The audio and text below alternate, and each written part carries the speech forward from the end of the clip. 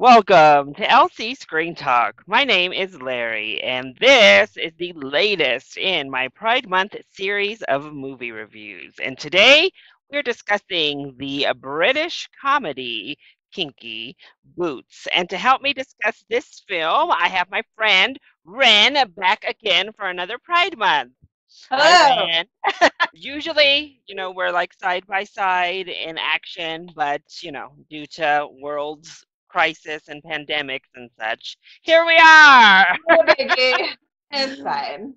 We're like two miles away from each other right now. So, We are. We're we're we're quarantine close. yes, Ren, you had seen this film before, is that correct? Mm-hmm. And I rewatched it again today. Perfect. This is another one I have never seen. I don't know. I had never watched Kinky Boots. I have this shirt mostly because I live for Brendon Urie and he played one of the roles on off Broadway. I don't know. Uh, on Broadway, off Broadway, somewhere. Uh, somewhere in New York. I know that. Uh, authoritative as a theater person and say it was Broadway, Larry, but I'm not 100%. I'm pretty sure it was on Broadway. Pretty sure it was on Broadway, and then it was like on the West End for a while, and it was like a thing. So I think it was Broadway, like the legit one. So yeah, I got this shirt, and thus I was like, you know what, we're gonna we're gonna talk about Kinky Boots. It doesn't have Brendon in it, but it's still an LGBTQ staple that went on to be a West End and Broadway success as an actual play. Uh, have you actually seen the live show, Ren? I haven't, and I tried to get you to let me do the musical version of it, and you were like, "Girl, this is a film criticism uh, channel, not a theater criticism channel." So I have not seen the uh, musical version, but I know it's very popular. I know lots of people really, really like it. Um, and not to get too into it immediately, but I imagine the musical is a lot better than the movie because I can't imagine the sort of enthusiasm being for the movie itself. Uh, so it was all of the music for the Broadway show was written, or the lyrics at least, were written by Cyndi Lauper. So that definitely shows you how awesome it probably is.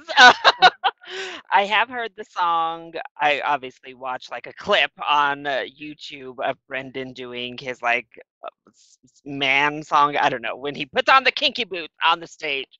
Um, so I'm like, oh, I forget we don't have all of those songs in We that. don't have any, yeah, there's just the the drag scene Yeah. songs. There's not like it's not like a musical, you know. So does this have like the same uh, following? Obviously, uh, Rocky Horror has more of a watch along, whereas I think Hedwig has a watch along, but that also has like that kind of cult following. I feel like Kinky Boots has that same kind of enthusiastic cult following, just more for the the stage play than the film. Yeah, I think so. Yeah, I actually so I did a little bit of research on it and uh it was I actually didn't know this, but I hadn't realized that the film came out first and then the musical came out. It was based on the the musical is written by Harvey Fierstein, who is an amazing playwright. Super hilarious. So again, I imagine the theater version is probably the next step up. Another gay icon. I mean, how do you go wrong with Harvey Fierstein and Cyndi Lauper? Yeah. I mean, Right, exactly. So I imagine that the musical is like super gay and really, really LGBTQ friendly, and I, I that's why I imagine it is a popular cult favorite. Yeah, so getting into the film, we do have some younger versions of pretty household names, especially when it comes to British actors these days. A young Chiwetel Ejiofor plays Lola, and then we have Joel Edgerton as our other lead. And this was certainly before either of them became the names we know them as now. So, how did you feel about the performances, Ren? Chiwetel Ejiofor. So I like him a lot as an actor. He has moments in it, um, but he is not a drag queen, and that was just like too hard for me to watch. You know, I think uh, the movie itself kind of depended on Lola being a fabulous, amazing drag queen, and she wasn't. Well, that's Like- the thing. We have, you know, Broadway. We had Billy Porter in the Yeah. role of Lola. We even had like Todrick Hall, who was Yeah. fabulous and wonderful in these type of things. Yeah. So you know, Chiwetel, I think, is a very good actor. Yes. And, and I do think, uh, especially with a lot of the more emotional stuff, Mhm. where Lola needs to be humanized, I think he does really well. A lot of the talking, but when we get those drag moments, certainly every now and then he's kind of cute. Like when he enters into the um, the shoe factory unannounced, I thought was fun. But Uh-huh. like the actual performances themselves, you were like, oh, Yeah. You're headlining your own like club scene, girl. So normally, the thing that I, I think I love about drag films, and I think the thing that like brought me into the world of drag is the fabulousness of it. Right? It's the amazing makeup and the gorgeous costumes and the fine attention to performance and this the, the wigs were bad. He didn't have blocked out eyebrows. His costumes didn't fit him very well, and it was like nobody bothered to talk to a drag queen, like a real drag queen, before they filmed this movie because, you know, and this is, this is I think this is probably the biggest crime for me of the entire film is the whole thing is about fabulous boots and women walking, uh, you know, men being able to wear beautiful, fabulous boots. And it is very clear that he cannot walk in heels. Like he is lumbering. he has got none of that, you know, I, I don't want to like be a gatekeeper about what drag is and is not, but at the very least, it seems like when you have a gay persona, uh, excuse me, a drag persona, that you want to create a whole character. And so that should come in through your whole body. But Lola doesn't change between when they're dressed as a man or when they're dressed as a drag queen the the body is exactly the same. He sits exactly the same, and you know, it's like I felt like I was a judge on Drag Race and was like, "Give me body. Your padding is terrible. What is this? Your figure, your shape." Is no good. Get a better wig. Your styling. Oh my God, honey, your makeup. Like that's what I felt like was it was just constantly not quite like it was just not on point right? And and I, I imagine it seems like maybe this was a really low budget film and maybe they didn't have the budget for it but I, again i feel like at the very least they maybe should have talked to a drag queen about it right? Because like i think about uh, priscilla queen of the desert that was also a very low budget film Australian production. This is British cinema, so they have more of a budget than most Australian companies. and and Priscilla Queen of the Desert had amazing Oh. co- costumes. You know, the Birdcage, amazing costumes. It was made even earlier than that, and I think the Birdcage again had a bigger uh, production budget. But um, yeah, I just felt like I feel like if you're gonna make a movie about drag queens, you need some drag queens. I need to see it, right? That's what I want. And Yeah. so that that was one of always the kind of the thing for me is when you suggested Kinky Boots, I was like, yeah, sure, we can talk about it because yeah. I just remember seeing it and being like, meh, it was okay, that was fine. and now, like actually looking at it with a critical eye, I was like, oh my god, I can't. He's not like having watched it like I don't know, ten years later and like. 12 seasons of RuPaul's Drag Race later, I'm like, no, this is not acceptable, honey. How did you feel everything. about Joel Edgerton in our lead role? I- you know, I don't think the acting was bad so much as just the characters don't make a lot of sense, and I don't have a lot of reason to like them or follow along with them and like care about them, right? Like he. He you kind of like love a little bit. You're like, oh, okay, he's gonna choose to do this Yeah. this thing, and he's gonna save the factory, and okay, we care about him. But then he's like, I'm gonna go ahead and mortgage my house without telling my fiance. I'm going to not involve her in any of these life decisions that affect her. And then she's supposed to be this villain. Um, and she's also a very one dimensional villain. So I'm like, you know, I have no way of really feeling about them as a couple. Like, it, it's clear that it's not a great situation, right? You can Yeah. it's telegraphed from the very beginning that this is his girlfriend and she clearly wants things that he does not really care about uh, you know like from the first moment that they're in their northampton apartment and she's all excited or their london apartment and she's all excited about it because it's not northampton you like immediately see in his little face that he doesn't really care he's like doing this for her Yeah. um, and so it's telegraphed pretty quickly that he doesn't care about this person so then i'm not invested at all in the rest of their relationship or his love interest that is at the factory, this other little girl who, again, it doesn't get developed. Um, it is interesting. I think I, I noticed obviously that this did not pass the Bechdel test at all. Uh, that Yeah. none of the women talk to each other about anything. Um, it's just uh, a drag queen and um, and Joel Edgerton's character, and uh, we kind of just follow them.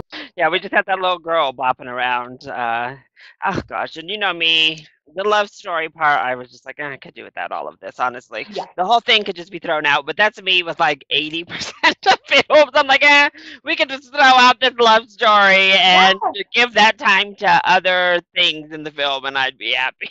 yeah, agreed. The the love story was, you know, it's it's an older movie. I mean, it's certainly clear that it was one of those situations where it was like, we have to have a love story. You can't tell you can't have a movie without a love story, obviously. So they like included this thing that's like completely inconsequential to the rest of it. Uh, it's interesting. So like him mortgaging his house to save the factory or what have you is supposed to paint him as a hero. Um, which let me tell everybody right now: do not mortgage your house for your business. This is a terrible idea.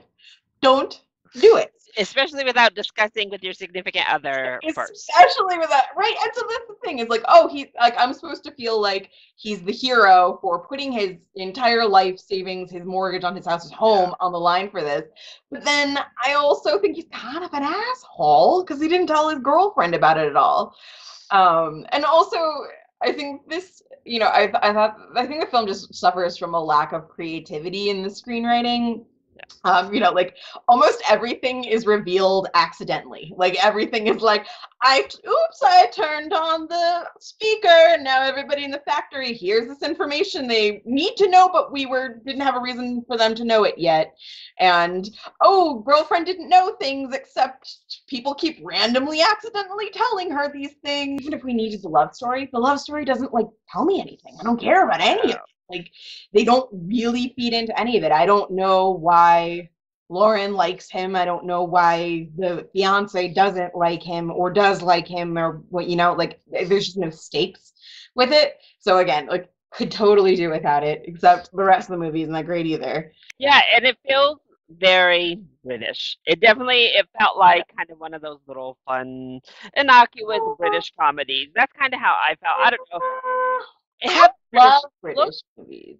It, it had the British look to it. I don't know. It had the British pacing to it. I, I feel like a lot of British comedies, particularly, have this atmosphere and feel to them. The Yeah. pacing, the look, the the comedy style is obvious. You know, Mhm. um, Yeah, I you know, I really I'm a actors, a lot of those, a lot of those background actors working in the factory. I was like, oh wait, uh, same I've yeah. seen I've seen you in how many British films? in every yeah exactly hmm yeah that's true. But so but i will say that i'm a big fan of british comedy. I watch a lot of british shows. I've seen a lot of british movies. I lived in london for a semester. Like i'm a you know living with my half british boyfriend with his british mom. I'm invested in the british culture. Um but this just movie just wasn't that funny. Like that was the thing is it's touted as a comedy and i don't think i really laughed at all throughout the entire movie. Like there's a few cute little moments that make you go that's about all it got out of me was a "Nah," you how do you feel about those the, the iconic red boots, Ren? um i, I do I, that's probably my favorite part of the whole movie is that when lola gets the moment of saying burgundy Yeah, that red sex, that, that Come sex. yeah that is like the moment and it's it's ridiculous too like in the context of the rest of the movie in the context of the rest of the character it doesn't make any sense. But as a moment i live for it right? Like i would have preferred if lola was that character the whole time right? Like that that's what that that is a drag queen. Yeah. that is the most drag queen moment in the entire movie and you actually see him performing in a drag club. So like yeah, that's amazing, and I, and I love the boots. I mean, I, I love the boots on uh, Joel Edgerton when it, he's just got his little like suit Yeah, on. and, like this this little outfit, Yeah. basically. Yeah. yeah, that's adorable. I like that. Um, I, his little tiny white. yes, exactly. So I like the boots. I didn't think they were amazing. I don't know. I think I've always kind of thought that the kinky boots were like, eh, like they're theoretically sexy, but they're also like yeah. it's hard with I don't know. I think sexy. I like to see ankles and a lot more like leg, and I think boots. You know what was it? She actually explained it in the movie about how the heel makes the calf uh, Oh, yeah. tight and the butt look pert, and so like if the boot is covering all of that, then it's not as sexy. yeah. So the heel. the heel, the heel yeah. great. And, and I, I like the idea of, you know, it was very cute to see him with his little nails drawing all of his little um, designs for the boots. And, and I, I wish, I don't know, I think there's elements of the movie that could have been explored more and just kind of like lived inside of it. I think I would have maybe enjoyed the movie a lot more if we lived a little bit more inside the relationship between Joel Edgerton's character and um, Lola's character, where we just kind of like watch them get to know each other a little bit. But more. also, and I, I I think that's my ultimate takeaway from the film. I thought it was like, like I kind of mentioned earlier, an innocuous, fine, just kind of like pass the time, crowd mm-hmm. pleaser. You know, Yeah. a pretty generic film overall. because you even get the like you get the romance, and then you get that story beat that didn't need to happen either. where he off on her about like embarrassing him and she mm. wasn't a man, she wasn't a woman, make. Right. a choice. Like that whole thing didn't need to happen. It just Yeah. didn't need to happen. it's the, and well, it's the hero's journey, right? You Yeah. every single Yeah. point on the hero's journey, and if you don't hit that point where he ru- tries to ruin everything and then gets to have his redemption arc, Yeah. then you haven't followed the exact format that you're supposed to follow to write. Sh- yeah, yeah, totally. And it like doesn't make any sense, right? Like he already doesn't like his girlfriend. It's been made very clear that he doesn't like the fiance. And like I guess we're supposed to kind of understand that he attacks Lola because he's hurt about Yeah. basically realizing that his girl but like that doesn't make me like him. It makes me think that he's again just kind of an asshole. Like a well-rounded good person would have said, "Listen, my girlfriend's cheating on me. I'm pretty sure I gotta Yeah. go. Um, but it kind of led into this very weird thing. And again, I think my other issue with the movie is the issue that I kind of have with a lot of earlier drag films, like To Wong Foo. At least in To Wong Foo, the costumes are fantastic and the actors are selling it. But and it was also made about 10 years prior to this. So Yeah. there was 10 years for us to have growth. Yes. So uh, there is this confluence, uh, this confusion, and this um, this sort of uh, they're they're basically trying to make being a tr- being trans, being a transvestite, and being a drag queen all the same thing. Um, and I know they that tried in to make some sort of differentiation. Like I don't know, it was weird. He was like, not only am I a transvestite, but I am also a drag queen. But he has that kind of talk to her, and it was kind of like, early in the movie, he's like, "I'm a drag queen. A transvestite is." He basically insinuated that a transvestite is like just a man that puts on a wig and like looks like a man. They're almost playing with the idea of like being non-binary, yeah, but even they like they don't even like make a solid choice. Yeah. You know, it's like, oh, if you're half man and half woman, that's fine. Or you know, if you're Yeah. a woman or a man, or you haven't quite decided, right? But then when they say, oh, you haven't quite decided, then that again Yeah. goes back into that idea that like you have to pick, you have to decide. It's something we've kind of moved away from in more recent years. So yeah. I don't know. I feel like there was a lot of ideas in this that were like these sort of crumbs of things that you could like that were still kind of covered in early 2000s misunderstandings of what being drag what drag was, what being trans Yeah. was. Um, and they were and it and it sucked because it was like they were trying to deal with it, but they didn't actually talk to anybody that knew. If this were made in 2020, I think we could maybe iron out a lot of that. But Yeah. back in the mid 2000s, uh, just weren't ready to have that conversation, and they, Yeah. like you said, they didn't put in the work to, to establish that discussion. or explain it to us, right? Is he trans? Is he a transvestite? Is he a drag queen? Is he struggling with his gender identity? Is is that the question that we're talking about? Is that the real issue or is it just that he should be able to be something in between? Like it just it, it's so muddy the like Yeah. Message that it's trying to say. I think that was the thing that frustrated me about the movie is right. It's not really funny enough to be a comedy. It's also not really like deep enough to be a feel good sort of Yeah. story. It's just it's so Yeah. middle of the road. Meh. I don't. I just don't know what to do with it. Yeah. And it's another one of those films where where it's I mean it's he is our main character, but the only sort of relationshipy stuff we do focus on is of the heterosexual white dude at the front. Yeah. You know, we don't you know, I, I think I might be able to be more on board if it was Lola, you know, having a, a relationship problem on the side or something. Um, Because if you're going to bring up this topic, then I'd rather see Oh, yeah. that. But it was definitely another one that was like, okay, Yeah. we're we're gonna have the community in here and- and not really Well, have. It was also strange too, right? Because they also make it very clear that he is straight.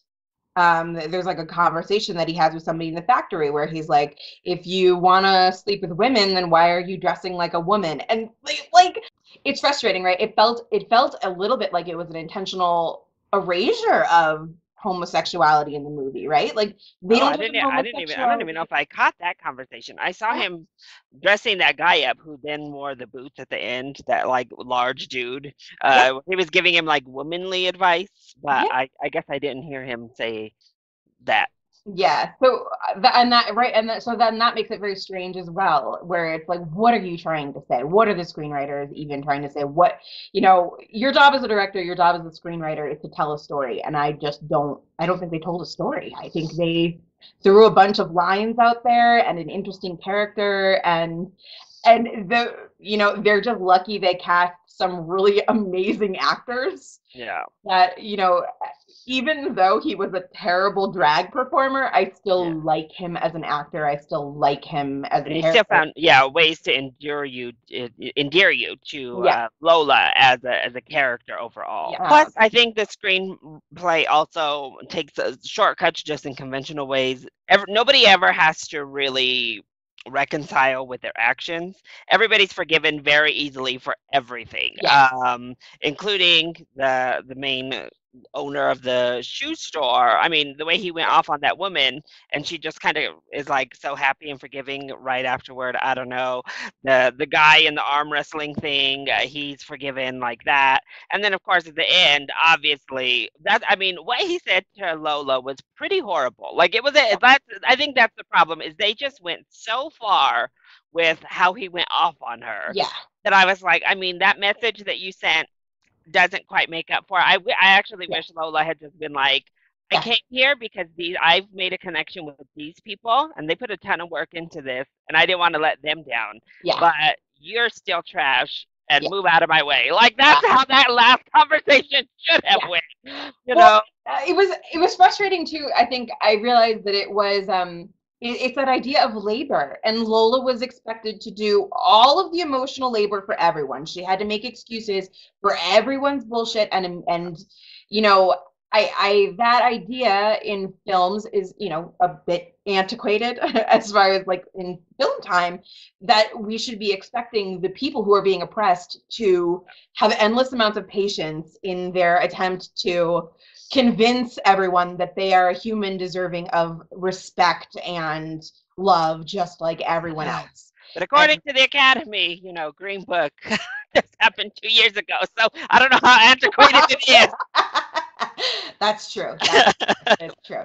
I, I definitely see how this could be a fun show. And I would still, if anything, it did intrigue me even more so to Yeah. be like, I do want to see a production of Kinky Boots because Absolutely. All of the ingredients are there. Like Mhm. every aspect is there to put together something really fun, Mhm. really a great time that Mhm. could open up those discussions. It's just unfortunately the film didn't quite know how to assemble the pieces to bring it to the screen. I don't think it's a horrible film. I don't think it's bad per se. I just think uh, it's a very forgettable. It's got a, it's like a 56% rating on Rotten Tomatoes, and I think that's about right. Yeah, It's right. It's fine. code, innocuous. Just kind Yeah. of turn it on. It's there. You'll forget about it. yeah. yeah. I was glad I had already seen it, so I could like scroll on my phone a little bit while I was watching it, and didn't have to pay too close attention. Right? Even even the first time you watch it, you don't really have to pay that close attention because the plot's pretty formulaic, like beginning to end. You you know what's happening. But there'll be a fallout. You know that this relationship, the first time you meet him, is gonna be doomed. You know the whole Yeah. deal. Yep. And as soon as you meet a cute other young girl, only cute young girl in the entire movie, obviously that's the new love interest. Yeah, it's all Er. very clear. I loved that little old man though. I wish you had spent more time with him. The, one who like came up Those were the moments that made me smile. Was the cute little old dude. That those were like the few times I was like, "Well, that's cute."